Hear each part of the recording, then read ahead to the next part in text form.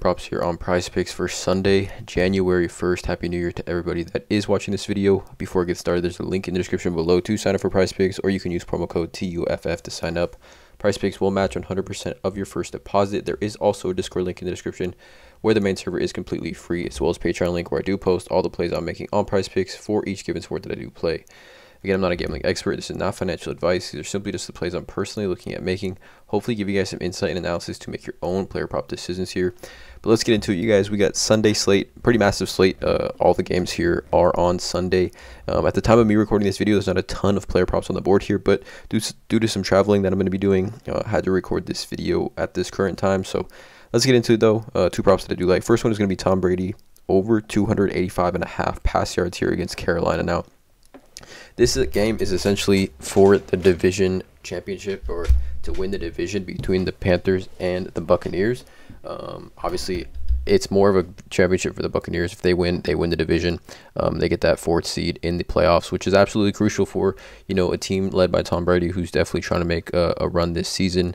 Um, Buccaneers offense as a whole has been pretty disastrous. And if we take a look at this, Tom Brady has only hit this one time in his last four games. But I wanted to, five games, sorry. But I wanted to take a look at a few things. So Tom Brady game log this season.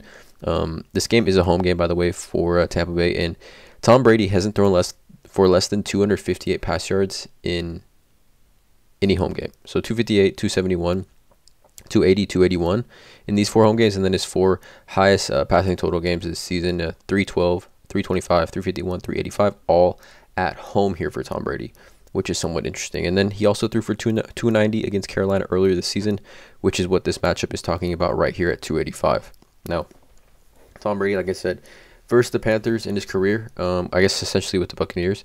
He said this in his last two outings. Um, last season in a similar matchup, late season versus Carolina. He went 29 for 37 and threw for 326 yards here. So that's also a positive sign for us here uh, for Tom Brady. We just saw last week Jared Goff throw 355 pass yards against Carolina. In Carolina, he went 25 for 42. Um, I mean, I can see Tom Brady throwing 40 plus passes in this game. Uh, we saw Carolina run all over Detroit. I think maybe Detroit, uh, Carolina has a chance to run the ball uh, pretty easily against Buccaneers as well. But I definitely think Tom Brady's going to throw 40 plus passes in this game, 285 and a half. Um, just seems about right here for Tom Brady. I think he can get to around 290, 295 pass yards here against Carolina in a must-win game for the Buccaneers. So this is the first play that I'm looking at. Uh, the second play that I'm targeting here for Sunday is going to be Cam Akers over 66 and a half rush yards uh, against the Los Angeles Chargers. Now I think this might be the first matchup that we've seen between these two teams, LA Rams versus the Chargers, um, in Inglewood in SoFi Stadium versus each other.